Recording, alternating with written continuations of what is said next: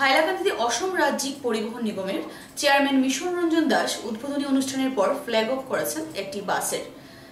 কিন্তু এই বাসটি সম্মুখের গ্লাস বা হোয়াইট শিল্ড গ্লাসের দিকে একবার লক্ষ্য করুন। ভাঙ্গা হোয়াইট শিল্ড গ্লাস থাকা গাড়িটি নতুন যাত্রার জন্য উদ্বোধন করা হয়। এই গাড়িটিকে ফ্ল্যাগ অফ করা হয় শিলচরের উদ্দেশ্যে। গাড়িটিতে উঠে ফটো সেশনও করলেন স্থানীয় বিজেপি নেতারা। পরিবহন নিগমের সভাপতি অবশ্য বর্তমান নিগমের তথৈবচ অবস্থার কথা স্বীকার করে আগামী দিনে পরিষেবা উন্নত হবে বলেও আশা প্রকাশ করেন।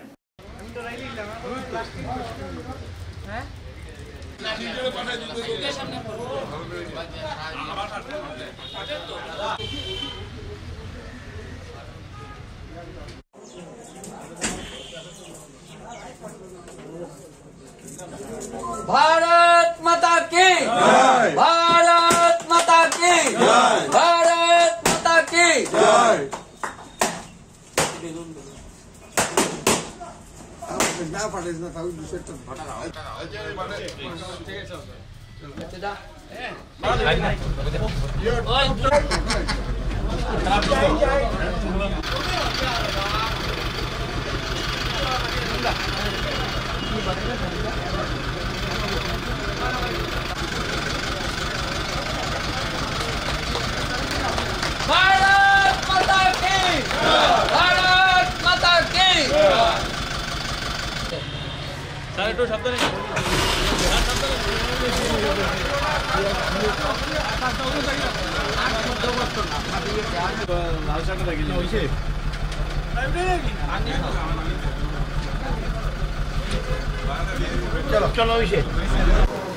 চনবিলৰ ৰাইজৰ এটা ডিমাণ্ড আছিল যে চনবিলৰ পৰা শিলচৰ তেওঁলোক যাতে মানে বিশেষকৈ মেডিকেল কলেজত যোৱাৰ সুবিধাৰ কাৰণে এখন বাছ লাগে।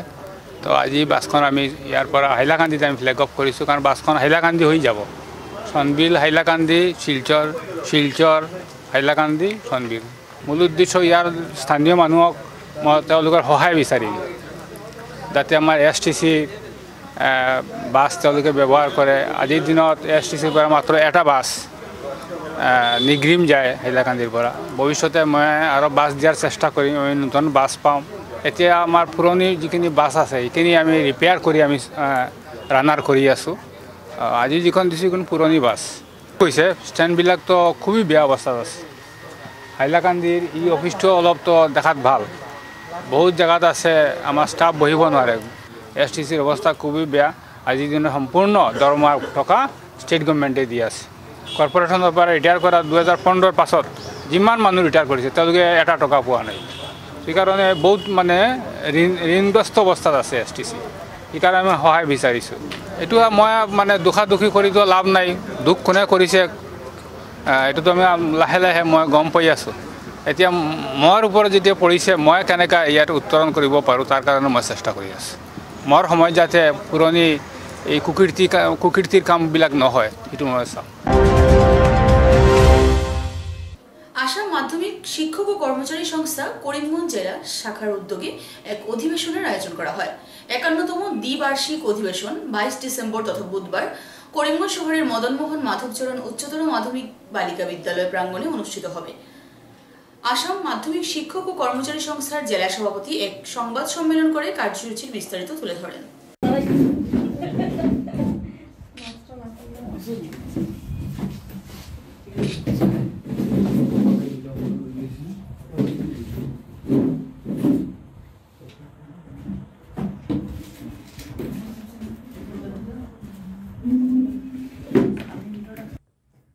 এই সংস্থার জন্ম হয়েছিল অবিভক্ত ভারতের, প্রাক স্বাধীনতা যুগে অবিভক্ত ভারতের এই সুরম উপত্যকায়। কিছু শিক্ষাবিদ, শিক্ষানুরাগী এবং শিক্ষা দরদি লোক মিলে এই সংস্থা গঠন করেছিলেন, যা পরবর্তীকালে নামকরণ হয়েছিল গভ এইডেড হাই স্কুল শিক্ষক সংস্থা এবং বিদ্যালয় প্রাদেশিকরণের জন্য অনবরত আন্দোলন চালিয়ে গিয়েছিল। শিক্ষকদের অবস্থা আগে খুব খারাপ ছিল। এই সংস্থা প্রাদেশিকরণের জন্য আন্দোলন করেছিল এবং প্রাদেশিকরণ হয়েছিল। তারপর এই সংস্থা থেকে বেরিয়ে যেমন আজকে যে হায়ার সেকেন্ডারি শিক্ষক সংস্থা আছে, তারাও এককালে তাদের অনেক কর্মকর্তা আমাদের সংস্থার সম্পাদক ছিলেন। এই স্কুলের ডেমনস্ট্রেটার পীযূষবাবু আমাদের সংস্থার সঙ্গে ওতপ্রোতভাবে জড়িত ছিলেন। অথ অসিত অসিত চক্রবর্তী মহোদয়, উনি আমাদের সংস্থার সম্পাদক, সহসভাপতি ছিলেন। তাছাড়া এই জেলায় আমাদের নটার সময় সংস্থার পতাকা উত্তোলন, নটা পনেরোতে আমাদের শহীদ বেদিতে মাল্যদান, সাড়ে নটায় আমাদের তো প্রতরাস দশটায় আমাদের প্রতিনিধি শিবির উদ্বোধন হবে, সাড়ে দশটায় আমাদের প্রতিনিধি সভা। বারোটার সময় সময় বারোটায় নতুন সমিতি গঠন, একটার সময় মধ্যাহ্ন ভোজন, আর তিনটার আমাদের আলোচনা সভা। জাতীয় শিক্ষানীতির উপর ডাক্তার বিভাসচন্দ্র দাসপুরকে ইস্ত মহাশয় আলোচনা করবেন। তো আমাদের একটা, এই উদ্যোগটা নিয়েছি আমরা একটা বিশেষ উদ্দেশ্য নিয়ে। আগামী বাইশ থেকে জাতীয় শিক্ষানীতি শুরু হচ্ছে।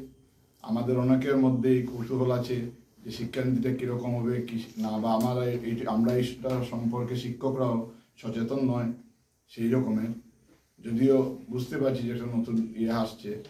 তো এই জন্য আমরা একজন বিশেষজ্ঞকে যাতে আমাদের মধ্যে এই জিনিসটা নিয়ে যে ইয়ে হচ্ছে, এটা যাতে দূর দূর হয়ে যায়। তো আমরা এই জন্য সমস্ত শিক্ষা অনুরাগীদেরকে বা শিক্ষকদের সব, সর্বস্তরের শিক্ষকদেরকে আমরা আজকে আমন্ত্রণ জানিয়েছি। রাজ্যের বিকল্প জাতীয় সড়ক অবরোধ করে ক্ষুদ্র গাড়ি চালকরা। মঙ্গলবার দুপুর বারোটা নাগাদ অসম ত্রিপুরা সীমান্তের ঝেরঝিরি গেইটে চলে অবরোধ। মূলত মুখ্যমন্ত্রীর নির্দেশে ওভারলোড ও করযুক্ত গাড়িগুলো সরকারি কর ফাঁকি না দিয়ে চুরাইবাড়ি গেট হয়ে রাজ্যে প্রবেশ করবে ও ঝেরঝিরি গেট বন্ধ থাকবে।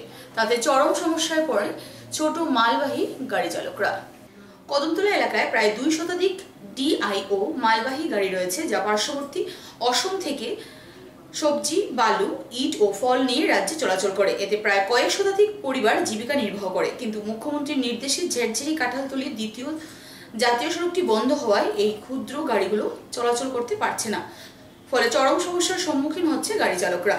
একদিকে যেমন গাড়িগুলির ইনস্টলমেন্ট রয়েছে, অপরদিকে সংসার প্রতিপালনেরও সমস্যা হচ্ছে তাদের। কিন্তু মোটর শ্রমিকদের দাবি, তাদের গাড়ি যদি চলাচল করতে না পারে, তাহলে সেই ইনস্টলমেন্ট ও নিজেদের জীবিকা রক্ষা করবেন কি করে? তাছাড়া শ্রমিকরা আরও জানান যে, এই রাস্তাটি খুলে দিলে যেভাবে তারা উপকৃত হবে এবং পরিবহন দপ্তরের অফিস বসানো হলে রাজ্য সরকারও করও মার খাবে না। তাহলে অতিরিক্ত মাল বোঝাই গাড়ি থেকে কর আদায় করতে সক্ষম হবে রাজ্য সরকার। এরই দাবিতে গাড়ি চালকরা রাস্তা অবরোধ করে দীর্ঘ দুই ঘণ্টা সময় ধরে। অবশেষে ঘটনাস্থলে ছুটে আসেন কদমতলা থানার ওসি ও ব্লক আধিকারিক। তাদের হাতে মোটর শ্রমিকরা লিখিত দাবি তুলে দেন মুখ্যমন্ত্রীর উদ্দেশ্যে। ত্রিপুরা থেকে ভানুচন্দ্রের প্রতিবেদন।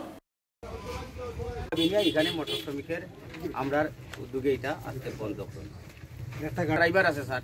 প্লাস তিনজন লেবার আছে। করি স্যার। তিনজন কোনোটাতে চারিজন তিনজনই ধরলাম স্যার। আমরা চারজনের ফ্যামিলি দেখেন স্যার এই যদি গাড়িটা না চলে, আমাদের ফ্যামিলিটা চলতে অসুবিধা হয়।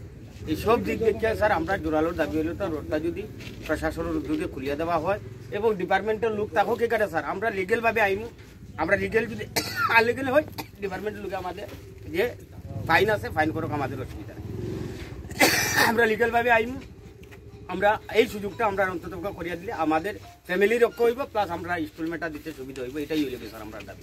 যে জেজেরি গেটটা লাস্ট যখন আমাদের করোনার প্রকোপ ছিল, তখন হান্ড্রেড পার্সেন্ট টেস্টিংয়ের জন্য এখানে আপনার জেজেরি গেটটা টেস্টিংয়ের ব্যবস্থা এবং কয়েকদিনের জন্য বন্ধ রাখা হয়েছিল।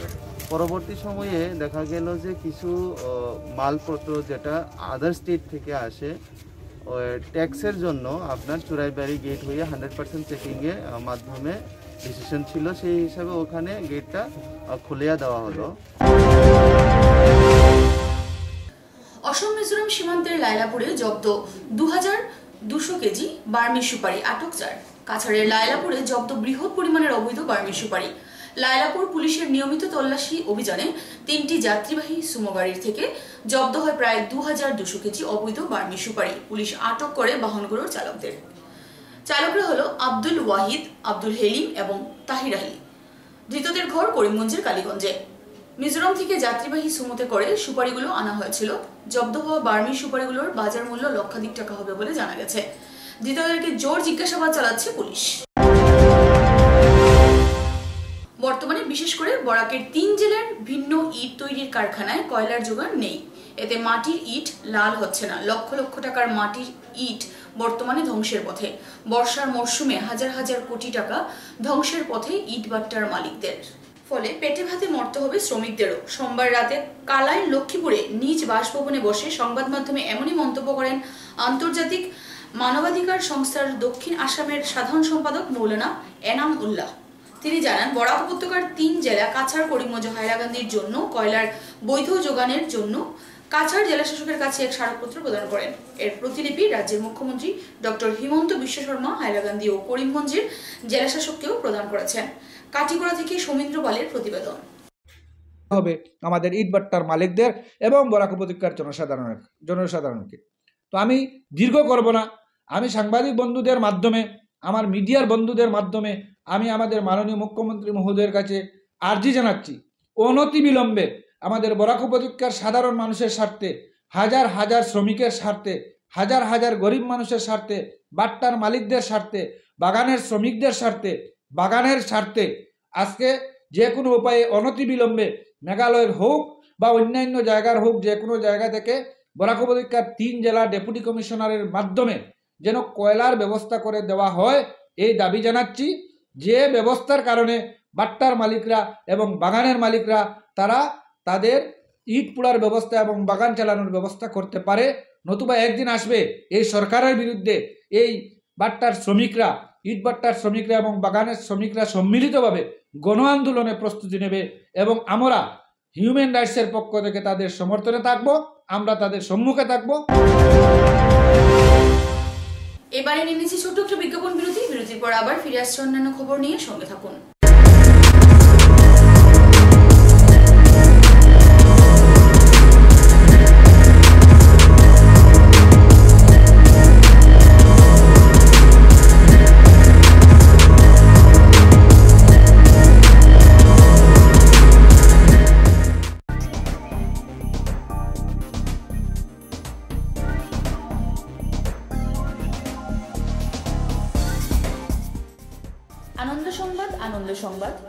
করিমগঞ্জে যাত্রা আরম্ভ করল মেসাস এসডি মেডিকেল হল। বিভিন্ন নামি দামি কোম্পানির ওষুধ নিয়ে হাজির আপনাদের নির্ভরযোগ্য ওষুধ বিপণী। বিশিষ্ট চিকিৎসক ডক্টর মানস দাস প্রতি সোমবার থেকে শনিবার দুপুর দুই ঘটিকা পর্যন্ত এখানে রোগী দেখবেন। আমাদের ঠিকানা messrs SD medical hall, bridge road, Karimganj. Mobile eight four zero two double eight six one two three. বড়দিন ও শুভ নববর্ষ উপলক্ষে বাজাজ মোটরসাইকেল কোম্পানির বিশেষ অফার। এখন থেকে বাজাজ কোম্পানির মোটরসাইকেল ক্রয় করলে পাবেন নিশ্চিত উপহার ও এক হাজার টাকার বিশেষ ছাড়। এই বিশেষ অফার আগামী দশ জানুয়ারি পর্যন্ত কার্যকর থাকবে। তাছাড়া পাবেন লো ডাউন পেমেন্টে ফাইন্যান্সের সুবিধা। তাই আজই যোগাযোগ করুন eastern automobiles, Patharkandi road, Kanishail Karimganj ও main road Nilambazar দূরবাস nine four three five zero seven double six three two, nine four three double five two three five one seven, double eight seven six zero nine one zero nine one.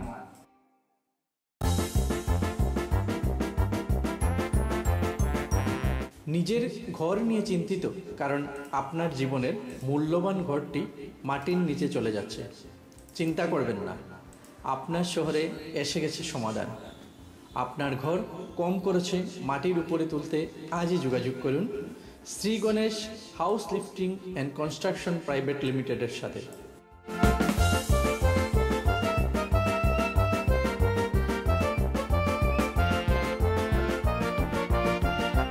আজই যোগাযোগ করুন।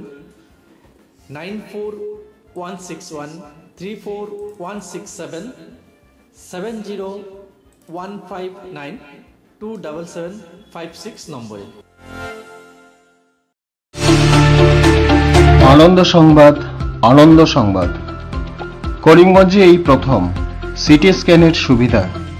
Karimganj health city, Banamali road, Karimganj. মায়ামিয়ার বাড়ির বিপরীতে। পুরো শরীর city স্ক্যানের সুবিধা এখন পাচ্ছেন করিমগঞ্জেও। আন্তর্জাতিকভাবে বিখ্যাত ডাক্তার দ্বারা রিপোর্ট। সিটি স্ক্যানের জন্য যোগাযোগ করুন। Phone zero three eight four three two six zero seven zero five. Mobile eight zero double one zero three double seven two three. Karimganj health city, Banamali road, Karimganj. আপনাদের সেবায় নিয়োজিত।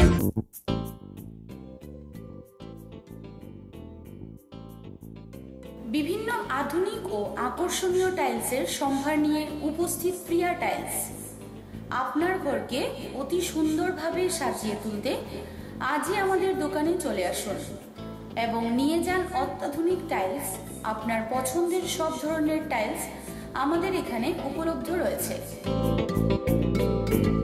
আমাদের ঠিকানা Chandras plaza, near Vishal megamart, station road Karimganj, mobile nine one zero one eight zero double five three zero, double nine five double seven zero nine seven eight four.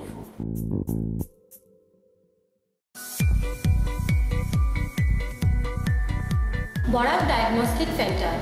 এখানে digital ECG digital EEG digital X ray computerise pathology microbiology histopathology colour doppler sonography ইত্যাদি করা হয়। আমাদের প্রতিষ্ঠান প্রতিদিন সকাল সাতটা থেকে রাত্রি নটা পর্যন্ত খোলা থাকে। প্রতিদিন সকাল আটটা থেকে সোনোগ্রাফি করা হয়।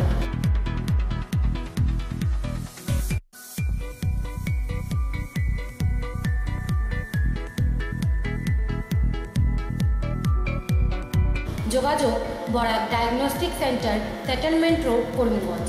Phone zero three eight four three two seven three one five one mobile number seven zero eight six three seven six eight double two nine four zero double one three two five two nine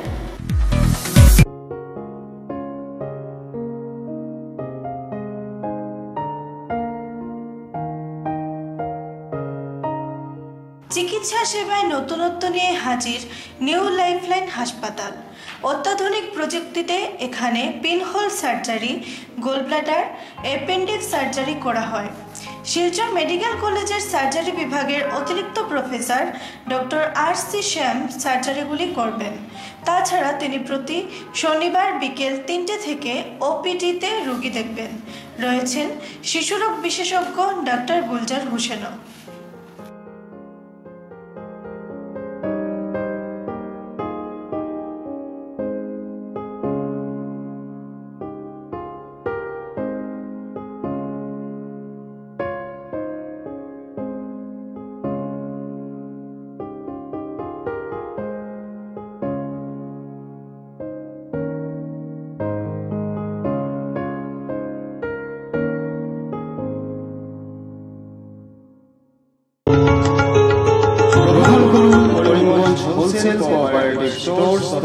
তথা আন্তরিক অভিনন্দন।